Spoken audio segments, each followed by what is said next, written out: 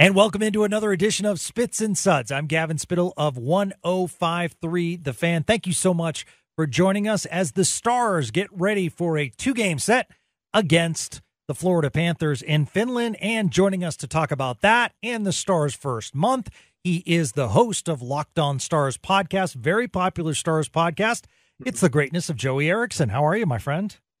I'm doing good, sir. Just uh, super pumped up about these games over uh, in Finland, taking on the defending Cup champs. So it feels like a, a measuring uh, stick uh, contest here for the Stars this weekend. What costume are you wearing as we do this podcast?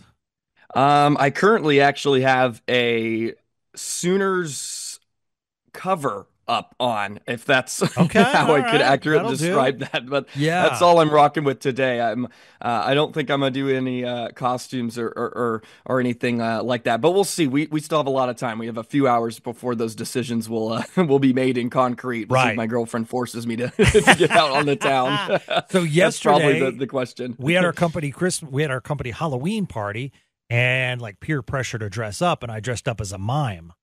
And I would do this podcast as Victory Green. It would not be the best podcast if I couldn't talk. Um, Yes. So yeah, so that was yesterday, dressed up as a uh, a mime, and it was a, a lot of fun. All right. Speaking of having fun, the Stars and Mhm. the Panthers having a whale of a week in Finland. It's been terrific. Big deal over there. And, you know, just pulling statistics, getting ready for tomorrow's game, like, I just want Stars fans to know, and I would love to get your feedback, Joey. Like, if mm-hmm. they go 0 and 2, it's okay. You're playing against the defending Stanley Cup champions. If you go 2 and 0, great.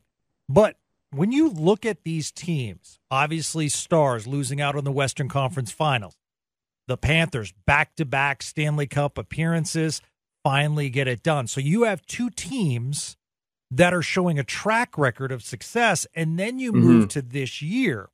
Stars with a record of seven and two, Panthers seven three and one. As far as uh, rank, the Stars are second in the Central with 14 points. Florida first in the Atlantic with 15 points, so equal points basically. Then you go down to power play.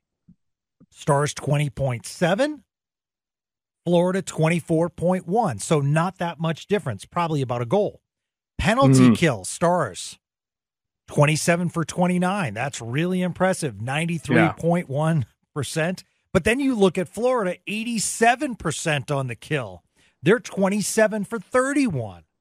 And in the last 10 games, Stars are 7 and 2 and the Panthers are 6 3 and 1. I mean, these two teams basically are identical as far as their start and then identical as far as their track record. Granted, Florida did raise the cup, but that's why I'm not going to be surprised at if one of these teams takes two games or what. They're so evenly matched. Yeah, absolutely. I, I think it's going to be an absolute blast to watch these two teams go at it. And I mentioned this on an episode the other day uh, on Locked On Stars, where uh, the Stars are, are trying to sort of emulate what the Florida Panthers have done over the past few seasons, right? Where Florida is just the perfect makeup of Yeah. a Stanley Cup champion, right? They have the scoring, they have the superstars, and they have the physicality. And it feels like the moves that the Stars made in the offseason was to sort of emulate what Florida has done over the past few seasons. It's a copy, uh, it's a copycat league, and I feel like Dallas is is trying to measure up to these teams like the, the Florida Panthers. And and yeah, they are very very similar. Where of course they have some superstars, but it it it, it doesn't really have that national recognition a, a lot of the time. Like Barkov can be underrated sometimes, even though he's the best two-way center iceman in the game. But man, Florida is so deep at the center position with Lundell and Reinhart. Yeah. And, you- and, and then you get to Barkov, right? It's like, man, they are so deep. And, and Dallas has some good center depth as well. But two teams with similar makeups, like really good back ends. They have really, really good depth up front. And yeah, they have some damn good netminders. So these two teams are going to clash, and I don't think it could be in a better place than it is in Finland. So I'm I'm uh, I'm absolutely stoked to watch these two go at it. And and yeah, as you mentioned, like Stars go into it's like yeah, okay, like that kind of makes sense. Florida's a damn good team. like that's going to happen. Sometimes you're um, you're going to get beat, but um, hopefully Dallas can take you know maybe two, three points out of the possible four, and you'll feel very good about coming back home. Yeah, you mentioned Sam Reinhart, and I think Stars fans tomorrow and Saturday will look at Tkachuk or look at Bobrovsky. But that's mm-hmm. yeah, I didn't even name. mention him. yeah, exactly. That's a name Stars fans have to keep an eye on. Sam Reinhart is on a tear this year, sixteen points. Uh, currently leads the Panthers. Uh, that's a guy that it's a name that we know of, but you know, honestly, Joey, not like a name that is mentioned as far as top tier. And this year, he's playing that top tier center level. Yeah, he uh, he obviously had the breakout season with, with 57 goals yep. a year ago, and uh, luckily for him, it came in a contract year, so yeah.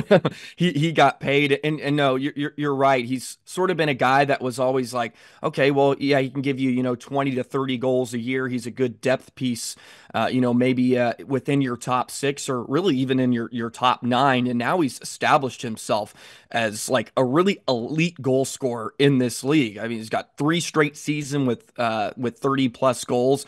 Yeah, he has a knack for finding the back of the net, and he does a lot of damage on the power play too. He's the guy to look out for. He had 27 power play goals a year ago, and that led the entire National Hockey League, not just the Panthers. So you, you speak of this very dangerous power play for Florida. Have to keep an eye out um, on on number 16.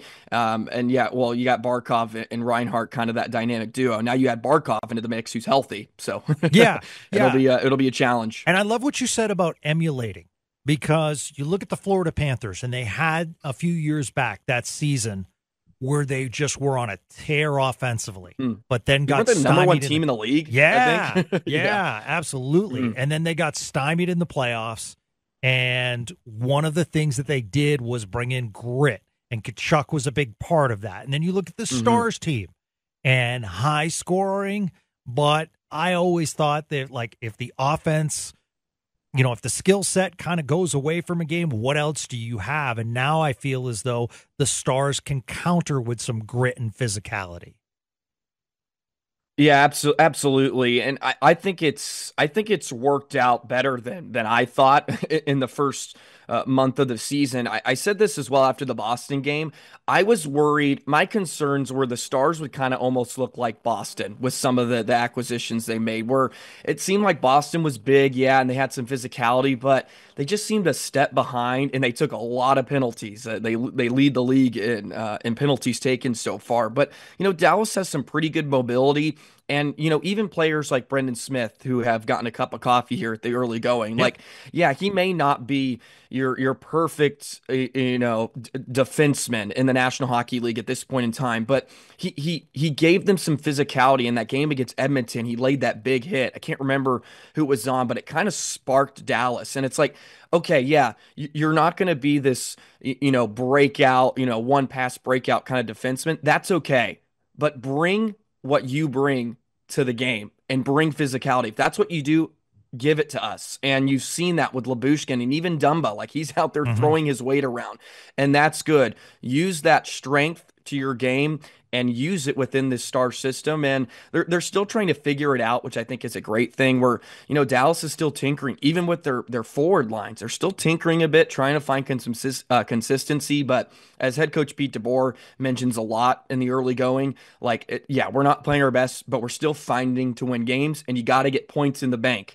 Um, that way, you can start peaking at the right time, and you're not trying to fight yourself into a playoff spot like where you know kind of Nashville and Colorado are now at, where you know that it, it you know another few weeks of you know them kind of teetering you know between 500 it makes it really really tough to play from behind. And the stars have done great especially under pete DeBoer. They've gotten off to very very good starts and that's the same here this season you know i'm wondering if we might see our first tussle of the season and stars don't get in many tussles um, one of the fewest in the league last year but mm-hmm. when you are playing on a big stage and finland will be a big stage so adrenaline will be amped up. This is similar to the players like a winter classic.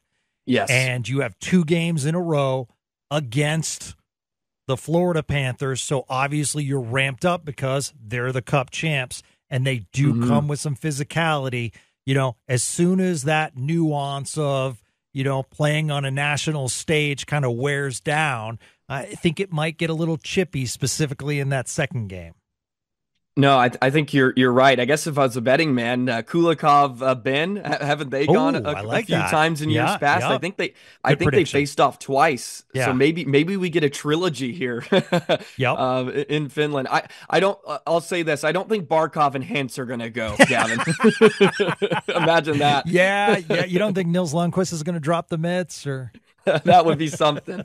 Be, hey, you got to find your way into a lineup somehow. Yeah, So, well, maybe- that's that is true, and that does lead Yeah. me to an excellent podcast you had the other day. And your podcast, Locked On Stars, was based on in the first month surprises and disappointments thus far.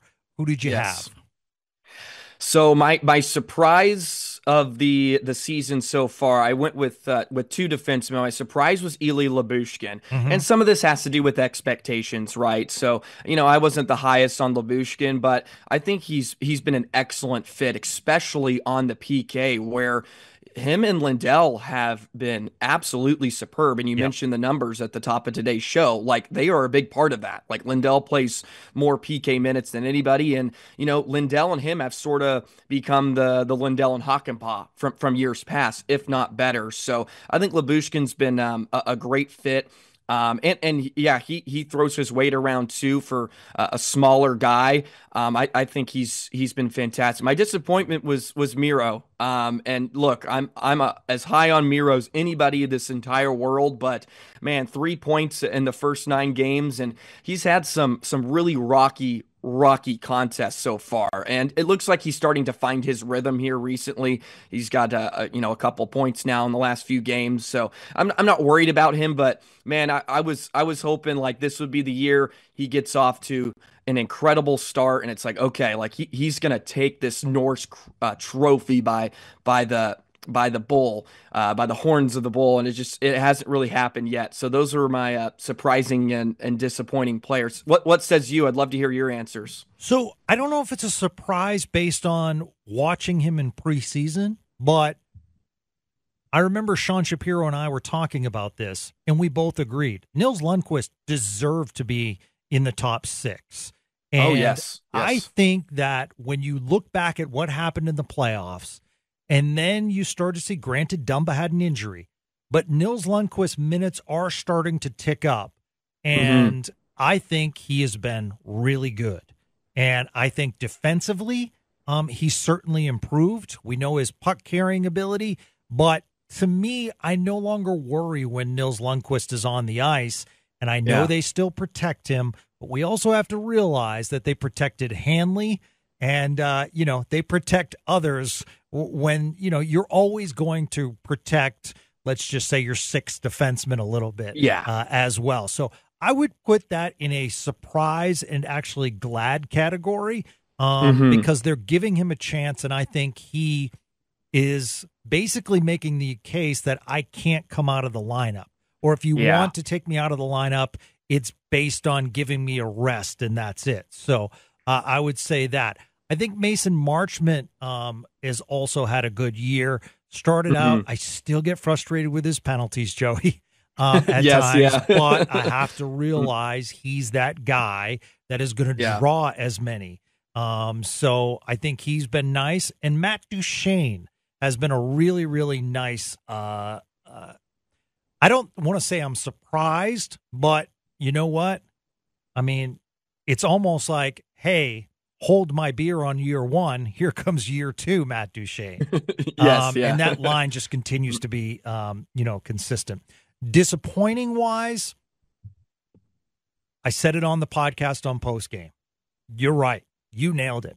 Four needs Yeah. to be talked about. That doesn't mean number four is bad. That doesn't mean number Yes, four is yes. not your top defenseman. And people have to interpret it correctly. But we cannot talk about Miro Heiskanen in the Norris category with you know with the offense not being there as of yet. Yeah. So I Mhm. would love because everyone talks about free Miro, free Miro, free Miro. Put him on the right side, put him on his strong side, put him on his strong side.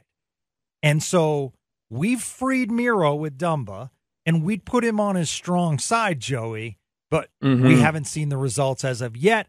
But he is seemed to be coming around in the last couple of games. So that would be the case. Uh, I would have said Jamie Benn, but he had a real strong performance the other night. I think Mhm. Jamie does a lot, you know, on the ice. I'll tell you another one that we are spoiled with Wyatt Johnston. Just looking at his numbers the other day, and I'm like, can we really be disappointed at that? He's just not scoring goals, but he's putting up points. It's kind of like Jason Robertson last year. People are like, what's wrong with Jason Robertson? And then you look, it's like, well, I don't know. He's leading the team in points. Yeah, again, again, right? Uh, no, I, I think it's in that category. He's just been a bit unlucky early. I Yeah. feel like I feel like the puck hasn't settled for him a lot. And that that save, what was it, Mrazek made on him? Oh. Uh, you know, or, oh, that was an incredible, incredible stop. And yeah, I was I was thinking in the first five games of the season, I was like, I haven't feel like I I. I noticed Wyatt a ton, but he had five points, and I'm like, okay, well maybe this is just the year where you know Wyatt's going to go uh, very quiet about his business. But you know, to, to get back to to Miro a bit, I would say I think he just needs to free himself a little bit Yeah. as well. And and like and and you mentioned the caveat, like yes, Miro does so many things that do not show up on this on the stat sheet, and and we will forever highlight those, and I will forever forever love him for that. But sometimes it's like, man, I wish he had a little more Harley in him. And I know that's not his instinct. Right. I know it's not his instinct. Hopefully he can get to that. And and to to touch on Nils uh, a bit as well because you know I spoke about him the other week and I said it's not really necessarily the the plays that even Nils is making it's the ones he's not making anymore and I think that says a lot Yep. about his growth and um, I think you you make a great argument that that Nils has been the Stars most consistent and even best defenseman this season so far I think I'd give Lindell that nod Yeah, I just would. for what he's done on the penalty kill but him and Nils I think are, are right there for the contributions and the production that we've seen especially defensively it just I mean, how many times this season, Gavin, have you seen Nils Lundqvist like bury a forward in front of his own net? Yeah. like like like three or four times this year. Right. like, we never saw that. And Right. it's like he's he's he's stepping up physically, which is a great sign. Yeah, yeah, it really is. And yeah, you're right going back to Lindell. The reality is we all had questions in the offseason because he became you just saw a difference in Esa Lindell when Chris Tanev came. And Yeah. then you wondered Chris Tanev's departure, how is that going to affect Lindell? Then he signs Mhm. the contract. I thought it was a very fair contract uh, for Yeah. both sides. Wanted to stay in Dallas. Dallas wanted him, and I mean he's certainly proven um, his consistency, uh, which is terrific. And granted, lost Tanev, who's a terrific defenseman, but you know David Castillo wrote an interesting article as far as are the Stars actually better? And you know, you do lose that Tanev, which will be interesting come playoff time, and you can pick up another piece. However, it just seems as though the depth is different from other years in that if you lose one of these defensemen like you lost Dumba, it you no longer have to hit the panic button. Yeah, and and and we've already seen that here early with with Dumba that went down. So I I, think I, the depth is certainly better, and and right, you just need guys that can eat up minutes. That was that was the problem, especially in the postseason when they were kind of rotating five D men. It's like you know you're playing Nils like five minutes Yeah. a night in the Yeah. postseason, like, and these are these are hard minutes. Like like Miro and, and and Harley are playing. It's like you just you can't get through a postseason that way. So I, I think you, you know the Stars they they went. It's like okay, we we we can't get Tanev back. Too much money, too much term. Like let's let's get some bodies in here that can play roles for us and can chew up minutes. And you know we've seen Dumba. He's kind of around 17 minutes a night. Lyubushkin is playing a bit more here.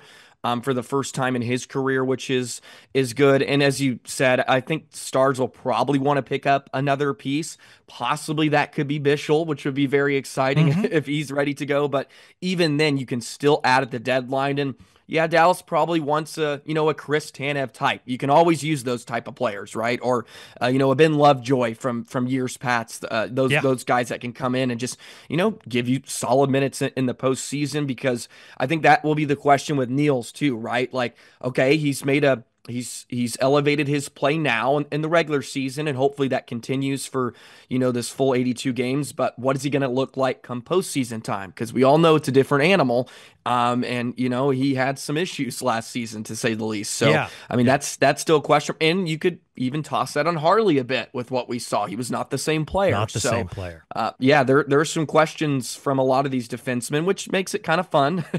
um, to, to, be fair, gives us some talking points for right. sure. But um, uh, yeah, they've they've looked they've looked ple- they've pleasantly surprised me, is what I say. Uh, is what I'll say in the first nine games this season. Yeah, well, even the fact that you can call Petrovic up, and you know he's a wily veteran, so he can sit, mm-hmm. and the fact that you have Bichsel just kind of in an incubator down in in uh, in Texas, and he's cooking, and he's cooking with lots of minutes, yeah. and he's still figuring out the North American game.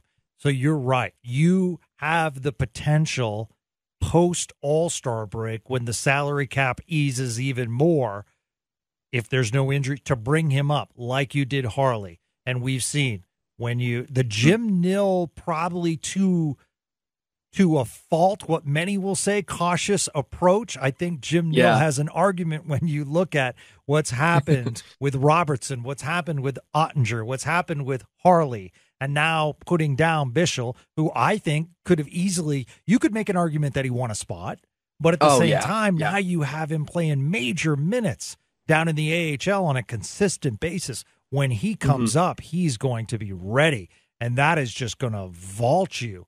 Um, and not to mention, you have seven contra- seven contracts that are one way defensively, so that kind of had something to do with it as as well. I did want to touch on the forwards because one of the things mm-hmm. I've seen, Joey, is a real intent a- after the first few games to show net front presence, get in that dirty area. And I think that's really helping this Stars team.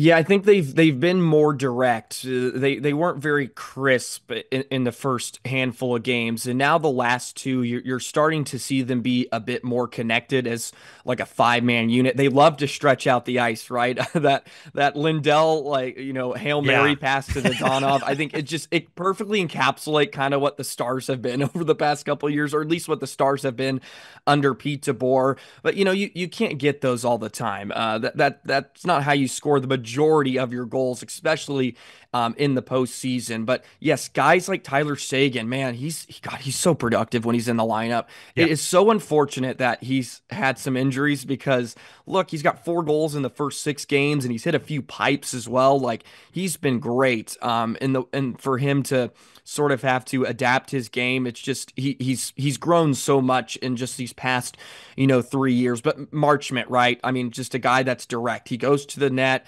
Um, Stankoven's like a little water bug out there. God, you can't keep your eyes off him when he's playing. Getting the eyes, getting in front of the eyes of the netminder, taking that away. I, th- I think you're absolutely right. And and the Stars have bear down a bit more. Um, and and maybe that'll help spur their offense a, a bit because we all know how special they are with their speed and they can be great off the rush. But um, we're, we're starting to see a, a bit a bit better production from inside the the blue line in the offensive zone and getting pucks towards the net.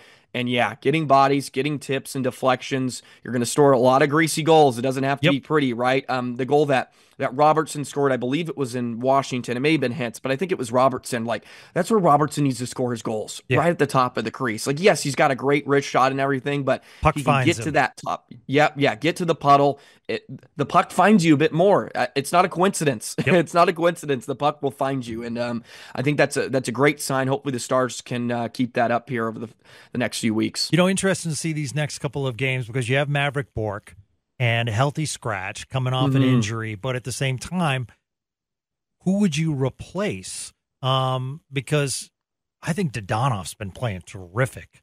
Um, yes, and mm-hmm. so you know, there's a guy that you know can play on all four lines. Uh, so it's interesting to see how they'll work the lines in the next few games. And I, I know they're trying to get Mavrik Bourque time, but it's just a situation where you know, him, Oscar Beck have to realize, you know, you have to yes. fight your way into the lineup and you have to, you know, honestly either put points on the board or make an impact defensively. Yeah, I, I can't make an argument to take anybody out. Yeah, Gavin. Like I like Sam Steel and Blackwell have been phenomenal. phenomenal. Like exactly what you want on your fourth line. And yeah, Beck, I mean, he's only gotten better each and every game. So even he's a tough guy to take out.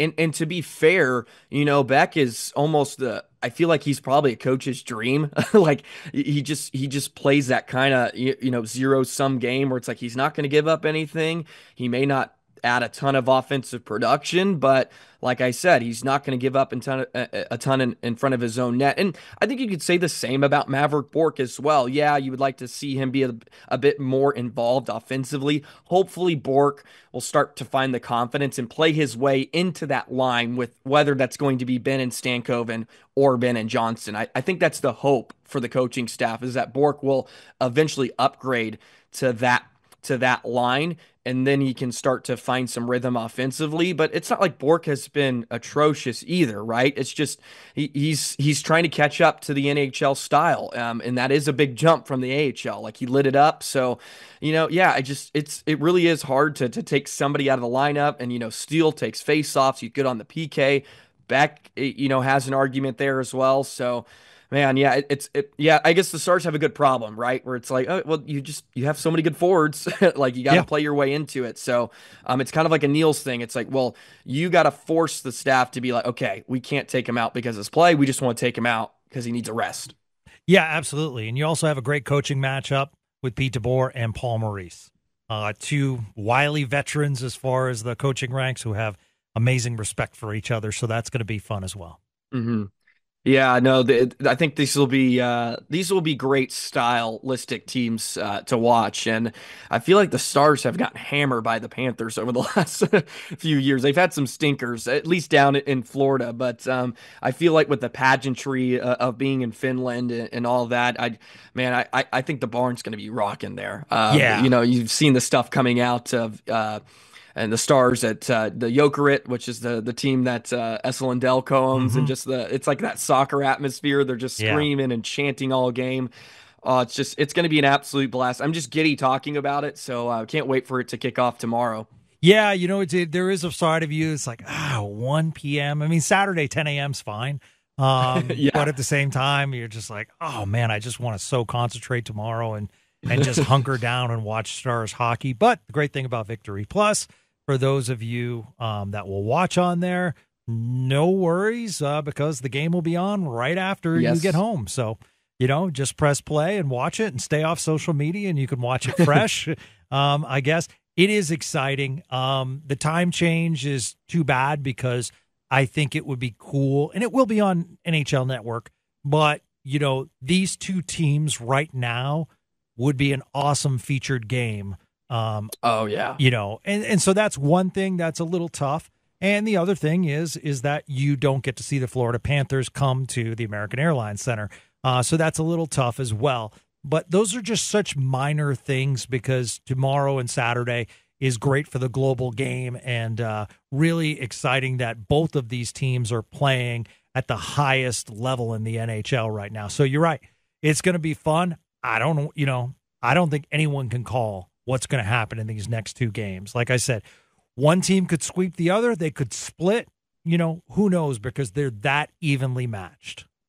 Yeah, two. I mean, two top five teams right now in the NHL based uh, on points. I know the, the Panthers have a couple of games in hand right now on, on the Stars, but yeah, you're watching. You know what? Two are probably pretty top contenders for the yeah. Stanley Cup. I, I, think a lot of people would have Florida and Dallas in that conversation, a potential Stanley Cup meeting here down down the road. So yeah, uh, it, will be um, it'll be a, a, ton of fun, that's for sure. So uh, yeah, man, C- can't wait, can't wait. See if the the Stars can uh, pick up a, a few wins. Um, I mean, gosh, I mean, you'll you'll feel extremely good as a Stars fan if yes. you pick up two wins uh, against the Panthers, especially when you know you're going to go against Bobrovsky one of these days. Yeah, especially too when you look at the division. Those are two gauntlet divisions, the Atlantic and the Central.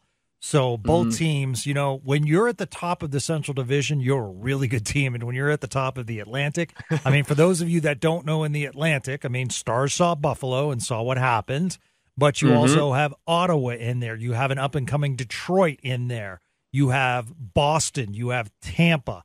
Obviously, Florida. So a lot of good teams in the Atlantic, and then we've seen what's happened in the Central Division, and keep your eye on Nashville because they're coming. And the start that Winnipeg has had is amazing, yeah. Joey. I mean, just their goal differential is just off the charts. It's like so unlike Winnipeg.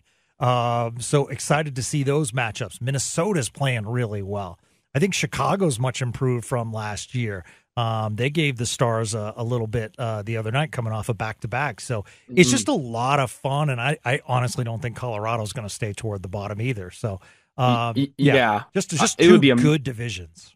Yeah, Colorado. I at this point in time, be a miracle if they're in a playoff spot by Thanksgiving with all the injuries. Um, they they've yeah. had. I actually did a power rankings episode um, today, uh, just the Western Conference, and I have Winnipeg number one. And I said, like, you, there's some things you can nitpick about Winnipeg, you know, in years past about well, they're scoring, you know, they don't have a ton of depth, but this year, I mean, they're just blowing teams out of the oh. water. Um, and, and, it helps to have Hellebuyck, of course. Well, absolutely. You know, Minnesota was a team that I thought was going to get back in the conversation. So I'm um, good to see. And I know you, you're a huge fan of that Utah Hockey Club that had a big win yesterday. So, hey, they're fun to watch. Word, I'll give you that. Spreads, they are right? a ton of fun. Word, word spreads. So, yeah, I, you know what? My first disclaimer came out the other day on the podcast where I mentioned uh, prediction was made without knowing the injuries to Durzi and Marino. which are yeah, which those, are, those are big ones. Those are big ones. But at the same time, you know, I, I, just here my prediction was that I think Utah will be in the mix for a wild yes, card. Yeah, that's um, fair. That's fair. Yeah, it's fair. so yeah, so that is awesome that you brought that up. That is a terrific callback. So yes, uh, and someone actually tweeted me the other day and said, "When Utah plays Dallas, who are you going to root for?" And I'm like, "Of course yeah. I'm going to root for Dallas. I'm not. I'm not like pro Utah Hockey Club. It was just." It was just something I threw out there because I just think they have the makings. And I, yeah, I mean, I, how could you not be excited about that? yes, I, like, come on. no, they're fun. And when you all of a sudden go from, you know, is the plane working? Can we take off? Which hotel are we staying in this time? Oh, we're back home and playing in a yeah. 5,000 seat arena that's college built. Um, so uh, the locker rooms aren't even NHL certified, and just no. all kinds of stuff to a sold out barn, to a first class owner, to being treated unreal. That's going to give you a little adrenaline push. So yeah, they've they've certainly had the the new the new franchise push a, little bit, which um is good to see. It's good for for them to to be good, and it's not a huge surprise. I mean, you know, Arizona last year was a team that was yes. in the playoff like conversation yeah. in January, and yeah. then their their netminder got hurt and everything kind of tailspinned um, from there. But yeah, the, the Central's going to be a lot of fun because yes, if Colorado and Nashville don't figure it out, like you're going to get some new teams now yeah. that, that are going to be in, in the conversation. But I, Nashville, I think, was kind of expected. Like they're trying to figure some things out. So um, hopefully they kind of get it back to back uh, back on track um, as well. But yeah, that's that Central's a, a lot of fun. So I mean, Stars going to have their work cut out for them, especially if Winnipeg's going to keep this up. Man, they just don't go away, I guess. No, absolutely. All right, it's a terrific podcast, Stars fans. It's called Locked On Stars, and the host is Joey Erickson doing a great job. And you can get a daily Stars fixed. Um, just search online for Locked On Stars. It's also featured on YouTube, um, so you can get the audio or you can get the video version. You are a beast, my friend. I'm looking forward to uh, having uh, you on more.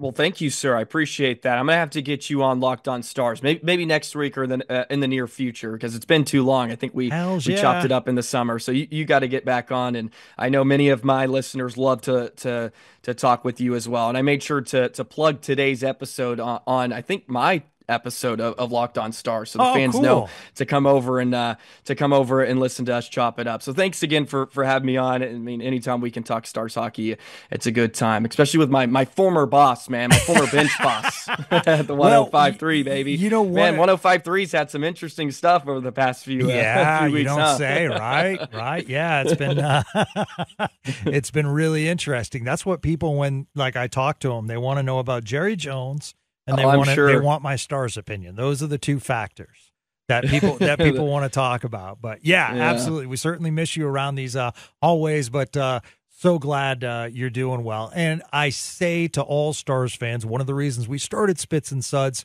is to create more Stars content. And since you have taken over Locked On Stars, you've certainly done that as well. Um, it's not about competition. It's about growing this great game in Dallas Fort Worth, and you're a big part of it. So thank you, my friend. Well, thank you, and, and amen to that. That's uh, that's what it's all about. Uh, you know, I, I, grew up in, Dallas, and you know, just was you know through and through a, a, hockey dude. I you know I went to school to to go to a Division One hockey school, not not the Division One football. And I mean I, I know you you love sharing the game with others do, um, yeah. and trying to teach people too. Like that's that's part of it of, of growing the game. And it's just I, I'm so blessed to be able to do Locked On Stars. I really am every single day, and just to get to talk about a team I love. Like I mean, how could you get better than that? Yeah, you know it's really interesting, and I, I love you know when we get like like feedback uh, as I'm pulling it up right now, just for a second, because it, it's kind of interesting because I, I got this uh, tweet yesterday from Chris Barnard, who's a uh, a big uh, uh, Stars and Spits and Suds listener, and mm. the the fan who tried to open up Mookie Betts' glove is Austin Capobianco. So Gronk um, on television says, interesting story. He was actually on the Arizona hockey team. so Chris Barnard reached out to me and said, any relation to the Texas Stars player? yeah. So I responded, uh, Kyle Capobianco is currently with the Stars in Finland, and he's from Mississauga, which is in Ontario, a suburb of Toronto. So he's not related, but he does okay. have a brother named Tony Capobianco, who played four years at Canisius and a few games in both the ECHL and AHL. Oh, very nice. Yeah. And Kyle's grandfather was a really good CFL player in the Canadian oh, Football Oh, League. wow. So yeah, it's awesome. Like, so you're able to go down this rabbit hole about Kyle Capobianco's family, and they're all athletes. So it's really interesting. Wow. So it was a great question. And uh, I love doing those deep dives and and you know helping listeners out, but also finding out for myself. So how cool is that? So uh, thank you to the listeners, and uh, you know reach out to Joey.